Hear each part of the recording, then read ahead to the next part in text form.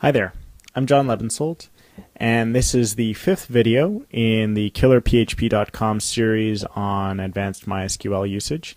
And today what we're going to do is we're going to pick up where the introduction to many-to-many relationships in the last video was, and we're going to start looking at how we can extend that and how we can also create various views of our data. And I'm going to start off very simply with a look at how we can express our many to many relationship and our one to many relationship in a simple as possible or a very simple way using what are called views. Now, before I get started with the whole views, I just want to begin by saying that I have this little script that I've put together and that I keep adding to in every one of the videos that we've been working on.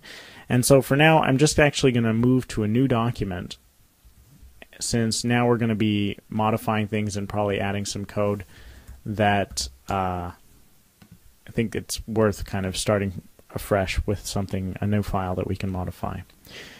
So I've got a post category table, a which is actually a cross table or a many-to-many join table where we basically store primary keys of other tables. We store the post ID and a category ID and thereby are able to link one table to another table.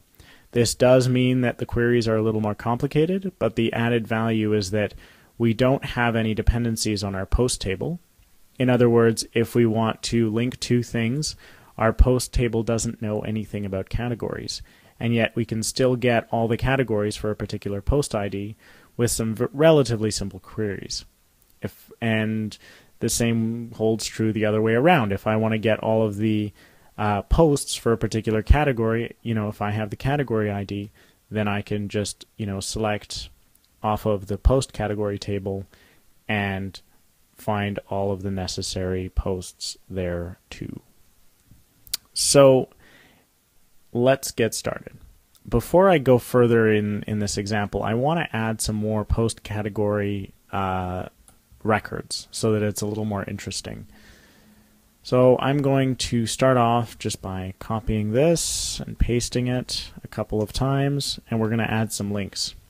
So I'm going to start adding some links to the More Politics uh, posting.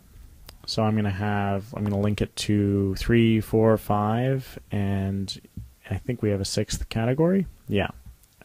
So I'm going to link it to a whole bunch of different categories. And I'm going to take our Olympics article and I'm going to link it to the sports category and the entertainment category. All right, so I'm going to select all, copy, paste it, and that looks okay. Now, in my, I'm going to start with a very simple query here where I say select star from category where ID in select category ID from post category where post ID equals 1. Where basically we're saying, okay, um, select the category ID from post category where a particular post ID is given, and then give me all of the categories associated with that particular uh, particular uh, post ID. So in the same way, now if I wanted to do something with the Olympic story, let's say I wanted to get all the all the articles related to sports, then I would start by saying, okay, select star from category. And then I would find out, oh, okay, look at this. Sports has an ID of 5. And then I would say select star from post category where ID, where category ID equals 5. So here I have, if I select post ID from the post category, where the category equals 5, then I know that I'm only going to get the posts that are going to have a sports relevant piece of content. So now I can take that a step further and I can do a select post ID, comma, p dot star from post category and then join whatever I see there, left join, to the post table with P. So now that P dot star is actually going to be grabbed from P over here, where category ID equals 5.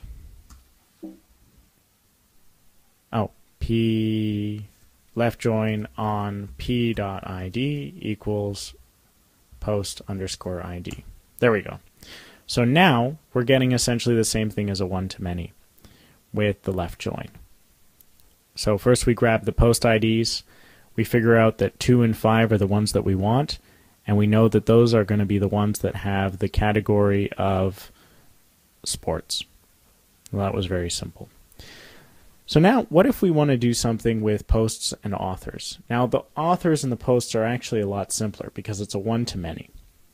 So if I want to create a view where I've basically um, I've basically glued posts and authors together and I don't want to have to keep doing all these left joins over and over and over again, there's a very simple way of doing that, and that's using a view. So to create a view is actually very simple. We just say create view, then give it a name. So in this case, it's going to be post underscore with underscore authors as, and then we just put in the view that we want. So in this case, it's going to be select p.id, p.title, p.content, a.name from, actually I also want the email address, a.email from post p, left join, author a on p.authorID equals a.id. So now I'm just doing the left join and I'm selecting a bunch of columns nothing happens, which is a good thing. So now if I do show tables, I'm actually going to see that post with authors shows up as a table, even though it's just a view. And I can say describe post with authors, and it will show me post with authors as though it's an actual table. I can even select against it.